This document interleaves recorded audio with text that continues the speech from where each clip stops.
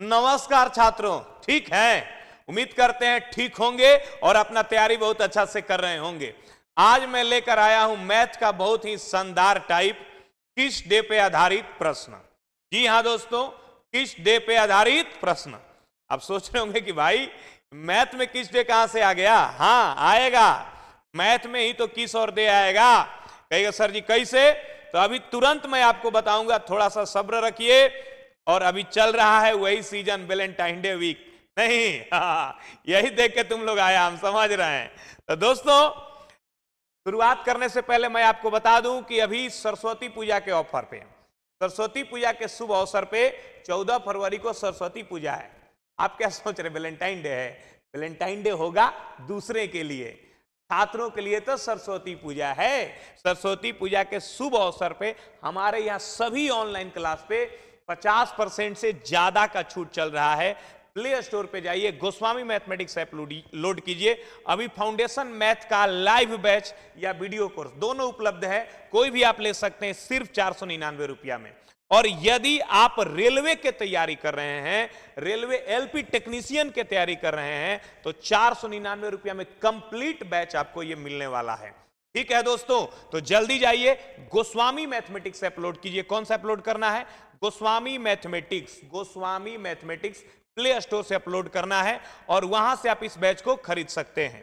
ठीक है, अगर कोई समस्या होता है तो आप हमारे ऑफ़िस के नंबर पे कॉल कर सकते हैं double eight zero double nine triple nine three five दोस्तों, आप सोच रहे होंगे कि ये किस डे क्या है? जी हाँ हम आते हैं आपकी इसी बात पे किस डे पे आधारित प्रश्न पे। तो किस डे पर आधारित प्रश्न जो है, साधारण ब्याज का एक टाइप होता है। साधारण ब्याज का एक टाइप होता है, जिसे हम लोग कहते हैं किस्त और देय। किस्त और देय।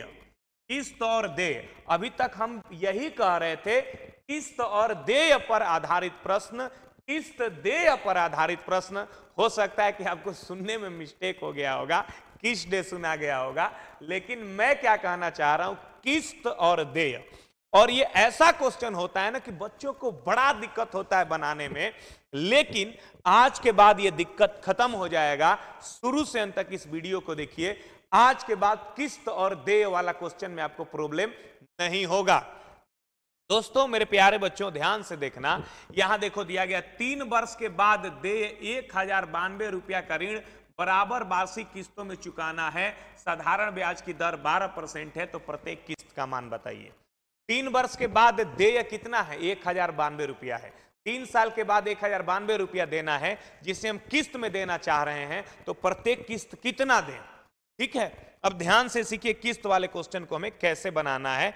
किस्त और देय वाले क्वेश्चन, यानी किस डे वाले क्वेश्चन को कैसे बनाना है? तो यहाँ पर सोचो कि रेट कितना है? बारह परसेंट।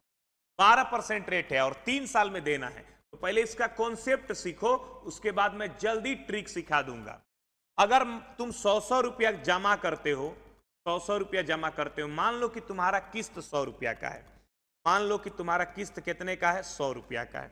तो किस्त अगर तुम्हारा सौ रुपया का है तो तुम्हें देय कितना होगा ये ध्यान से सीख। पहला साल सौ रुपया जमा किए, दूसरा साल सौ रुपया, तीसरा साल सौ रुपया। रेट कितना है भाई मेरे? बारह परसेंट। तो पहला साल बारह परसेंट मिलेगा, फिर दूसरा साल बारह परसेंट मिलेगा। अब ध्यान से सीखो।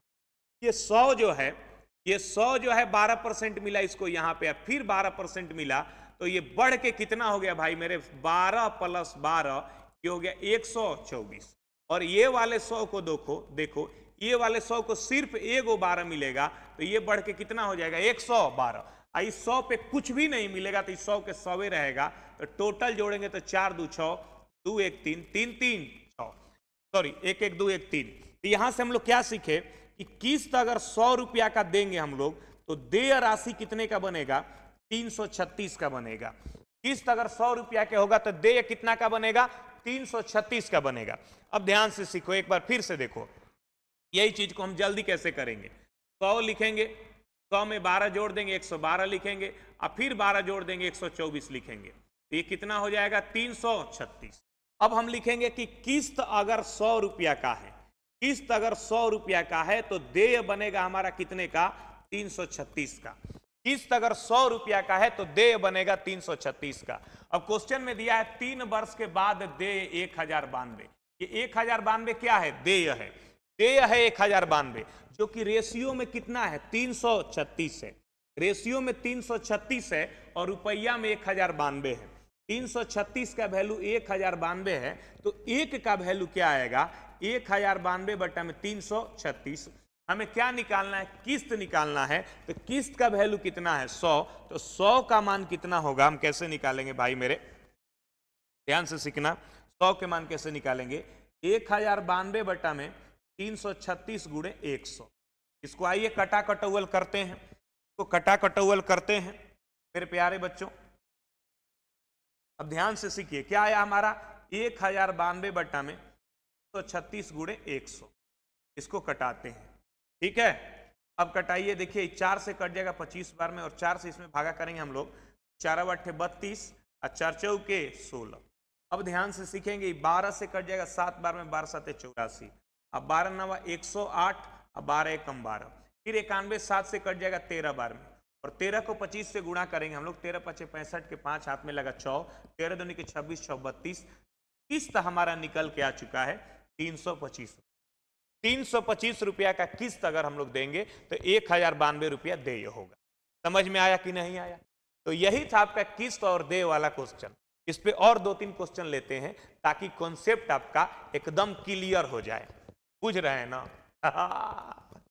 ठीक है। चलिए स्क्रीनशॉट ले लीजिएगा। अगला क्वेश्चन आइए। सात सौ रुपया का वार्षिक भुगतान। सात सौ रुपया का वार्षिक भुगतान पाँच वर्ष में दस परसेंट के दर से कितने रुपया देय ऋण का भुगतान करेगा? इस बार हमें किस्त दिया गया है और देय ऋण निकालना है। क्या निकालना है? देय ऋण। कुछ मत करो, जब भी क्वेश्चन आए, आप सौ लिखो और रेट दस परसेंट है तो दस जोड़ दो, एक सौ दस। फिर दस जोड़ दो, एक सौ बीस। फिर दस जोड़ दो एक सौ तीस फिर दस जोड़ दो एक सौ चालीस। कहिएगा, सर, कै बार जोड़ेंगे? पाँच साल है ना तो पाँच को होना चाहिए। एक, दो, तीन, चार, पाँच, हो गया, काम खत्म। सबको जोड़ेंगे, एक, दो, तीन, चार, पाँच। पाँच को ज़ीरो है तो ज़ीरो के ज़ीरो रह जाएगा। दो, एक, तीन तीन छः चार, दस के ज़ीरो हाथ में लगा एक एक एक दो, एक, तीन, एक, चार, एक, पाँच, एक छ ये छः सौ रुपया क्या बना? देय बना।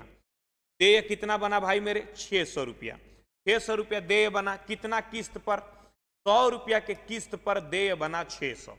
सौ रुपया के किस्त पर देय बना छः सौ। इसे रेशियो में भी लिख सकते हैं कि किस्त अगर एक रुपया तो देय छः रुपया। क्वेश्चन में क्या लिखा है? सात सौ रुपया वार्षिक भुगतान। अगर मैं आपसे पूछूँ कि ये सात सौ रुपया क्या दिया हुआ है तो वार्षिक भुगतान का मतलब होता है कि किस्त दिया है। सात सौ रुपया क्या दिया गया है? किस्त दिया गया है, जो कि रेशियो में किस्त कितना है? एक है। एक का वैल्यू कितना है भाई मेरे सात सौ? तो ये सात सौ गुना हुआ तो छह का वैल्यू कितना होगा? छह गुणे सात सौ, यानी कितना होगा? बयालीस रुपया। तो हमारा देय राशि निकल चुका है बयालीस रुपया। किस्त देके देय पूछा था, ठीक है ना? कोई पूछेगा, क्या पढ़े तो कहिएगा, किस दे किस दे पढ़े हैं आज? ठीक है? ठीक है ना? समझ में आया? चलिए, आगे बढ़ते हैं और अगले क्वेश्चन पे आते हैं। कितना वार्षिक भुगतान? फिर हमें किस्त ही निकालना है। कितना वार्षिक भुगतान? नौ सौ चौवालीस रुपया का दे ऋण को। चार समान वार्षिक किस्तों में चुकता करेगा, यदि दर 12 परसेंट है। वार्षिक भुगतान यानी हमें किस्त निकालना है और देय ऋण दिया गया है नौ सौ चौवालीस रुपया। रेट कितना है? 12 परसेंट। रेट है 12 परसेंट तो 100 प्लस 12 112 फिर 12 जोड़ेंगे 124 फिर 12 जोड़ेंगे 136 रुक जाएँगे क्योंकि चार गो समान किस्त देना है तो चार गो जोड़ेंगे। दो चार छः छः बारह के दो हाथ में लगा एक, दो एक तीन तीन, दो एक तीन तीन छः एक सात, एक एक, दो एक तीन एक चार चार सौ बहत्तर। यानी हम यहाँ से क्या सीखे कि किस्त अगर सौ रुपया का रहेगा तो देय कितना बनेगा? चार सौ बहत्तर। अब इन रेशियो के अलावा देखो, क्वेश्चन में क्या मालूम है? नौ सौ चौवालीस रुपया देय ऋण। नौ सौ चौवालीस क्या है? देय ऋण है। जो रेशियो में कितना है? चार सौ बहत्तर। रुपया में कितना है? नौ सौ चौवालीस। कै गुना हुआ? दो दो गुना हुआ। तो किस्त कितना होगा? सौ गुणे दो। किस्त होगा आपका दो सौ रुपये। इस क्वेश्चन का उत्तर आ चुका है दो सौ रुपये। ठीक है? रखते हैं यहीं तक। उम्मीद करते हैं कि दे और किस्त वाला क्वेश्चन आप समझ गए होंगे। और यदि आप हमारे ऑनलाइन क्लास से जुड़ना चाहते हैं तो गोस्वामी मैथमेटिक्स ऐप ज़रूर लोड कीजिए। वहाँ पे चलने वाले सभी बैच पे अभी सरस्वती पूजा का ऑफ़र चल रहा है। जय हिंद।